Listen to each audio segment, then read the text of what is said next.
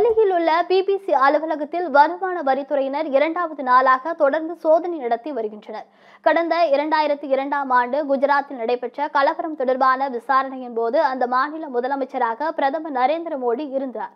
அப்போது முஸ்லிம்களின் நிலை குறித்து இந்தியா மோடி மீதான கேள்வி என்ற ஆவணப்படத்தை கடந்த ஜனவரி மாதம் பதினேழாம் தேதியும் பிபிசி நிறுவனம் லண்டனில் ஒளிபரப்பியது.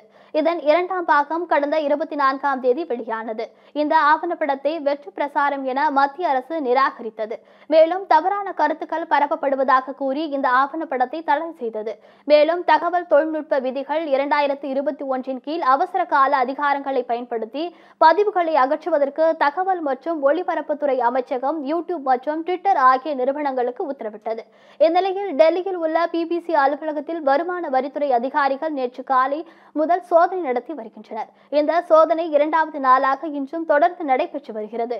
இதேபோல் மும்பையில் உள்ள பிபிசி அலுவலகத்திலும் சோதனை மேற்கொள்ளப்பட்டு வருகிறது. இந்த வருமான வரித்துறை சோதனைக்கு எதிர்க்கட்சிகள் பலரும் கடும் கண்டனம் தெரிவித்துள்ளது குறிப்பிடத்தக்கது.